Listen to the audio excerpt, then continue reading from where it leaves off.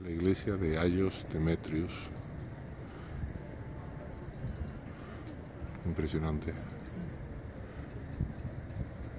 Hay una cantidad de arte bizantino, de iglesias bizantinas, por aquí perdidas, dentro de la ciudad y fuera de ellas, en el monte, como por ejemplo esta.